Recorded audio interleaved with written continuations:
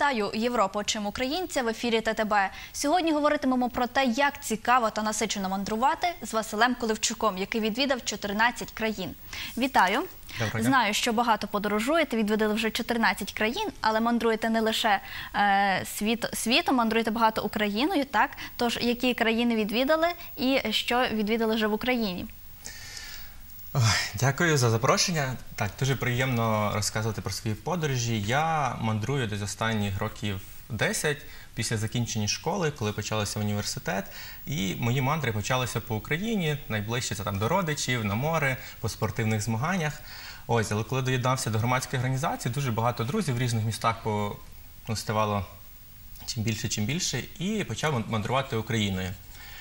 Ось Україною відвідав вже ну, до 24 років. Два роки тому відвідав всі 25 областей, побував у кожній куточці України і переконався в тому, що в нас дуже багато є куди подорожувати.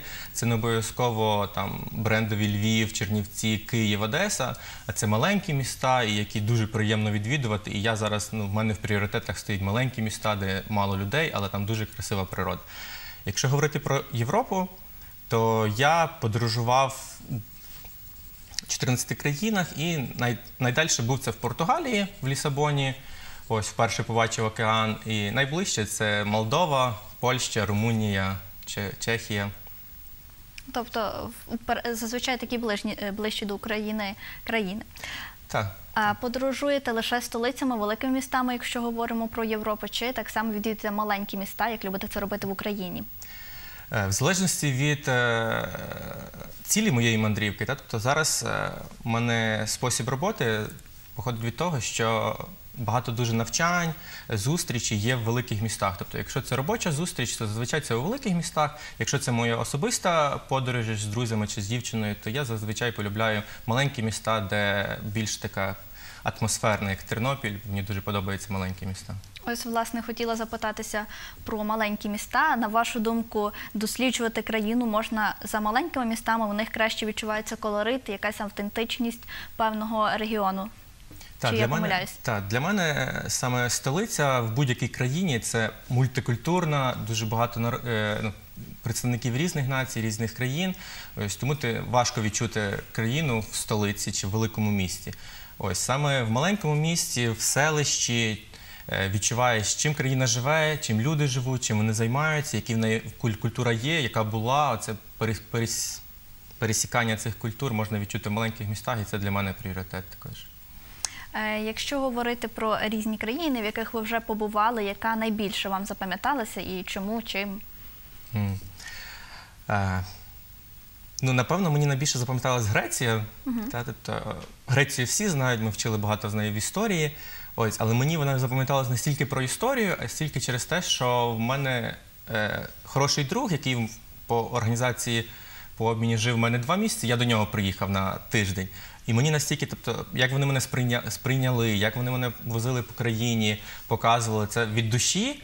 Ось саме тому мені Греція найбільше сподобалася. Неважливо, наскільки країна красива чи не красива, важливо, з ким ти дивишся, з яким ти настроєм дивишся. От настрій в Греції у мене був дуже прекрасний. Мені показували її з найкращої сторони, і це мені найбільше сподобалось. З чим у вас асоціюється Греція? Е, З моїм другом, та, з Антоніо. З Антоніо і з селом. Він ми були в нього в селі.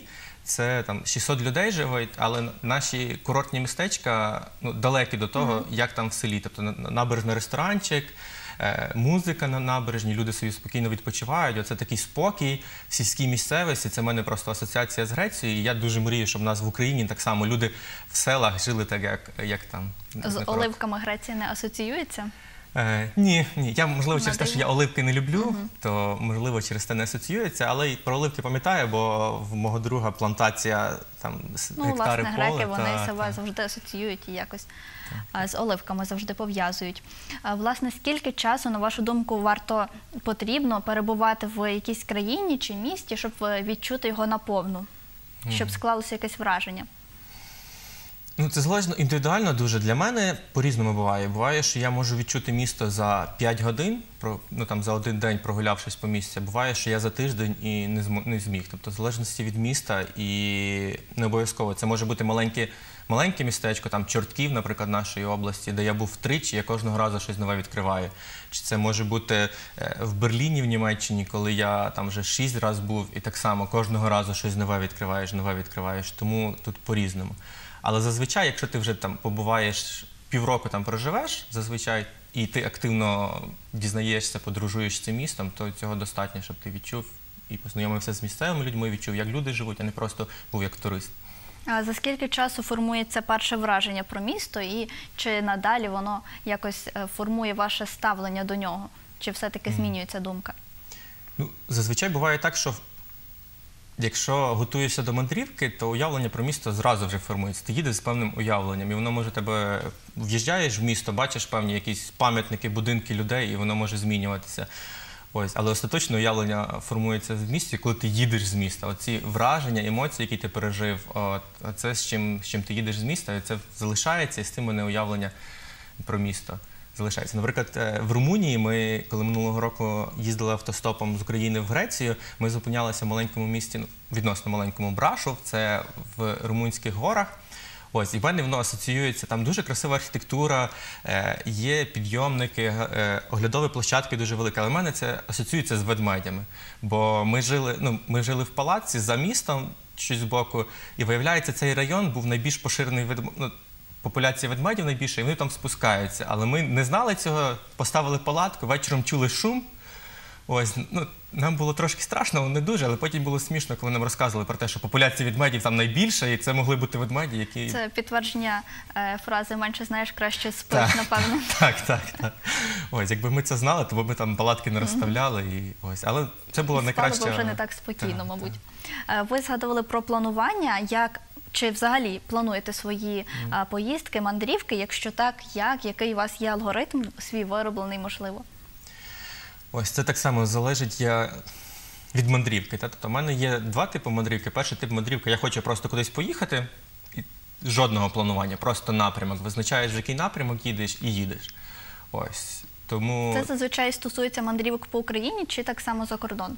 е, ну, ближній за кордон. Далі ні, тобто там Молдова, е, Польща, Білорусія, це ближній за кордон. Це стосується так само. Сюди там Молдову, Білорусі не треба візи, це ні- ніякого планування.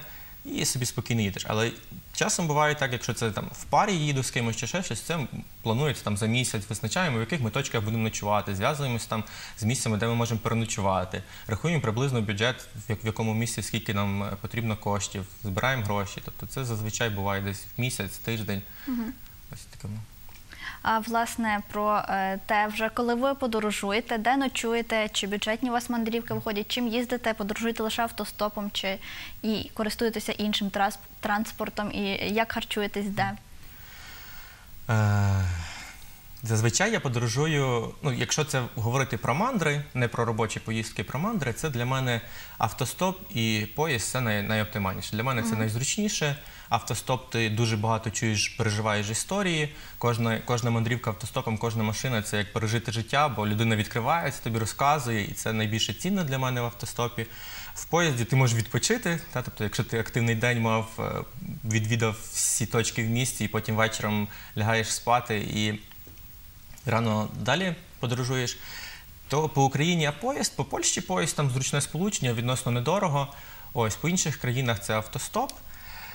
Е, про що ще? Е, харчування, де А, харчова- Зазвичай, якщо говорити про харчування, це ну, економне. Мої мої мандрівки зазвичай це економні мандрівки. Минулого року я їздив 14 днів там автостоп. Це Тернопіль, Греція, Греція, Тернопіль. Ми за 14 днів на двох витратили 12 тисяч гривень. Ось це там на міський транспорт е, в Солоніках, в Будапешті, харчування. Місцями ми жили в готелях. Найбільше мені подобається жити це в сім'ях, тобто шукати якихось знайомих в містах е, і щоб вони мене приймали безкоштовно. Не стільки, щоб безкоштовно, а стільки, що я можу відчути з середини, як люди в цьому місті живуть. Бо одне побачити, як місто виглядає, а друге прийти в сім'ю. Зазвичай в мене так стається, що я не просто в студентів там один на один живу, а це повноцінна сім'я, батько, сестра, мати, Це ваші знайомі зазвичай чи буває якийсь каучсерфінг? Е, З каучсерфінгом я не, не дуже працюю. е, Моя дівчина працює, бувало таке, але мені більше прац- подобається знайомий. Тобто, завдяки тому, що я учасник багатьох громадських організацій, робив там багато проєктів, знайомих е, по всій Україні і за кордоном є. Бували ну, найчастіше це знайомі, і це найцінніше. Харчуємося два випадки. Якщо ми хочемо відчути місцеву кухню, ми йдемо в якесь місце, де місцеві порекомендували, а не найпопулярніше для туристів по рекомендаціях місцевих. І супермаркет ніхто не відміняв. Купляємо супермаркет, робимо бутерброди і їмо. У мене е, одного разу був гість на Європі. Очим українця на цій програмі розповідав, що часто їм траплялося в супермаркетах бувати на безкоштовних дегустаціях, де вони могли е, собі пообідати чи повечеряти безкоштовно і одразу ж е, якоюсь е, місцевою їжею. Так, бу- бували такі випадки. Ну я буквально два рази в Польщі раз таки натрапив, і в Німеччині було раз. Тобто не часто це треба мати щастя та й багато ходити в ці супермаркети. В супермаркетах в Європі є ще такі акції, коли продукти там завтра виходить ну, термін, Термін придатності, вони ціну наполовину спускають. Мені зараз треба їсти. Я купляю сьогодні, з'їдаю і все. Тобто це теж хороший варіант, щоб зекономити.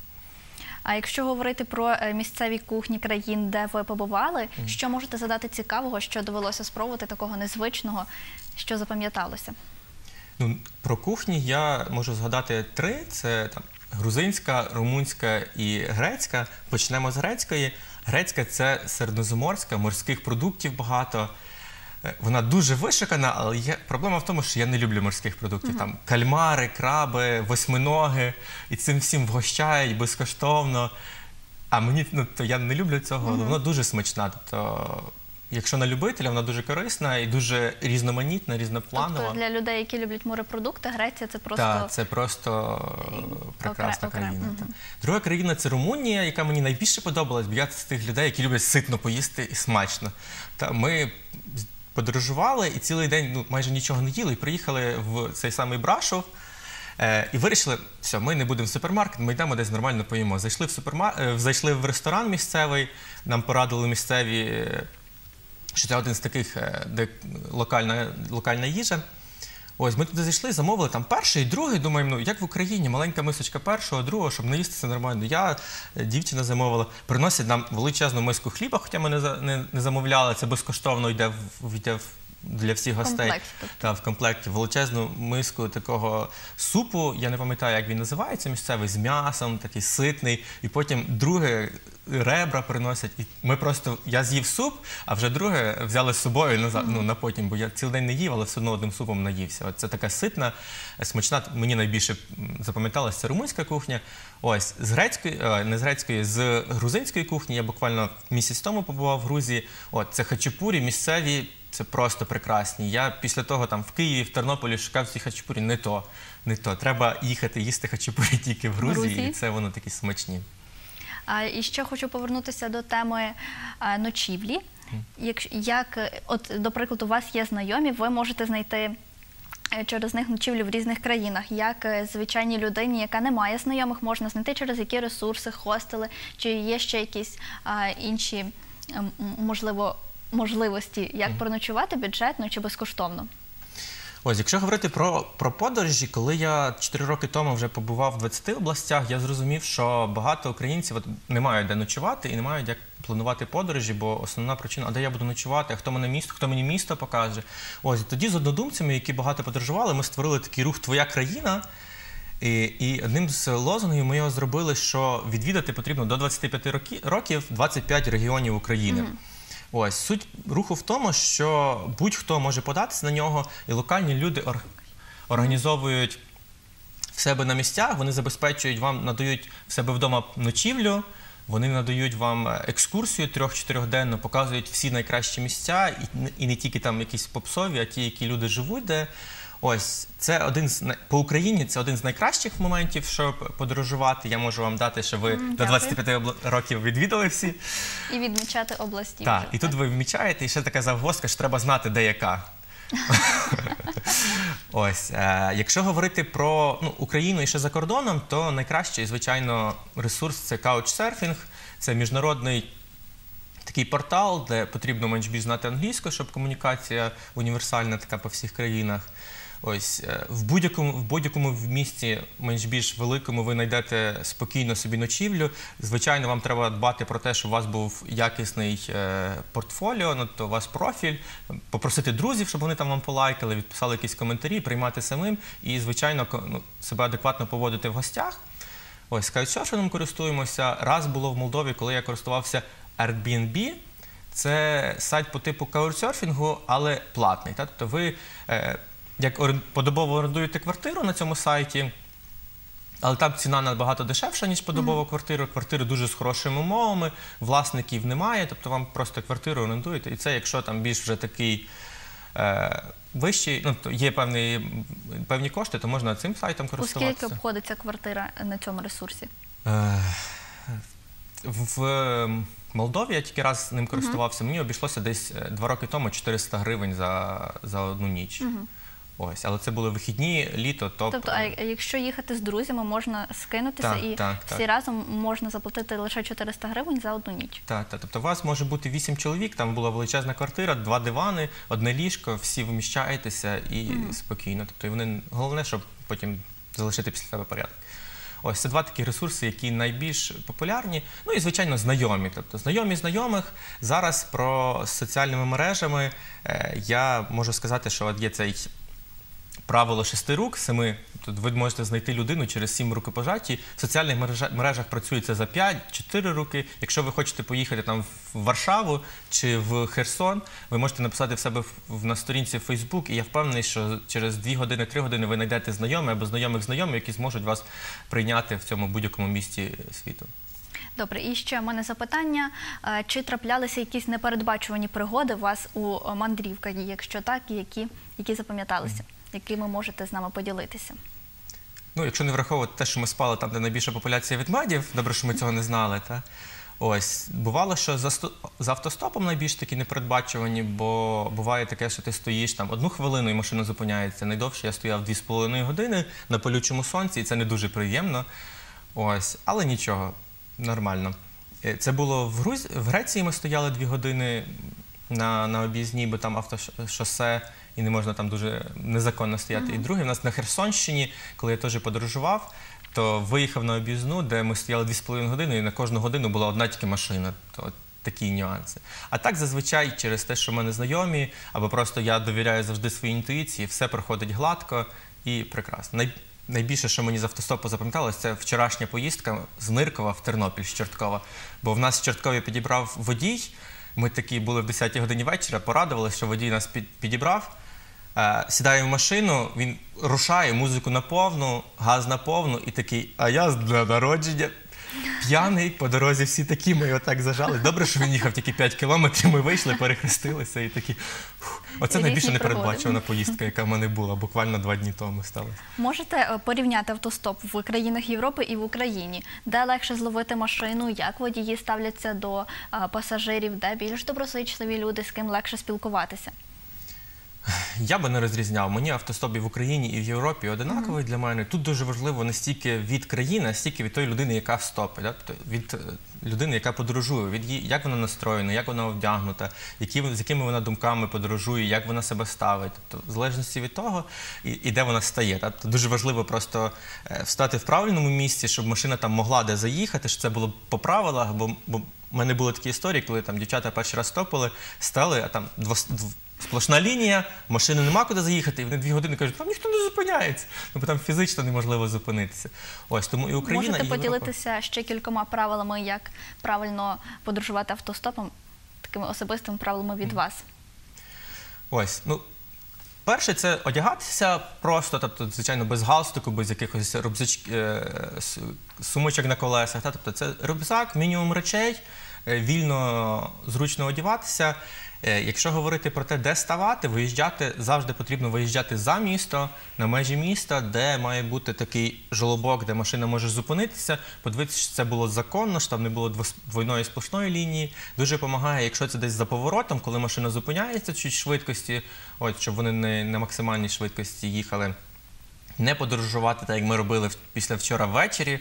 Тобто, коли вже темно, бажано не подорожувати, бо тут два нюанси. Перший нюанс водії вже бояться, бо не знають, хто, хто подорожує. А другий нюанс, що можуть бути п'яні водії, яким вам не дуже безпечно буде. Е, В які години найкраще зупиняти машини? О, ну, в будь-які, насправді, там протягом дня в мене по-різному бувало. Ось, якщо говорити там з Тернополя кудись виїжджати, виїжджати десь о 7 годині ранку, бо дуже багато фур виїжджає в цей період, які можуть підібрати, якщо на дальну відстань там в, різ, в різні куточки України роз'їжджаються. Це зранку найоптимальніше, але протягом дня так само зручно, в залежності від відстані і від вашого настрою. Тому... Ви багато подорожуєте автостопом в Європою. Чи виникають якісь мовні бар'єри? Е, В мене ні. От, завжди допомагає мова жестів, розуміється е, на всі 100%. Ось, якщо вже водій зупинився, значить ви з ним порозумієтесь. Та? Тобто дуже важливо максимально, якщо ви десь за кордоном, прописати на англійській букві мові табличку, куди ви хочете їхати, і тикати пальчиком. Та?